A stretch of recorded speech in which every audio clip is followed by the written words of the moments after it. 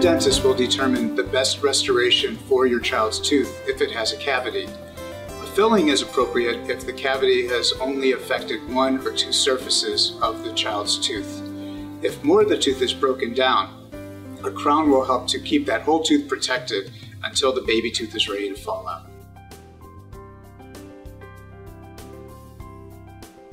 Teeth may need to be taken out if your child is crowded and doesn't have enough room for an adult tooth to come in appropriately. If a tooth is badly broken down and cannot be saved with a pulpotomy, then that tooth also may need to be taken out.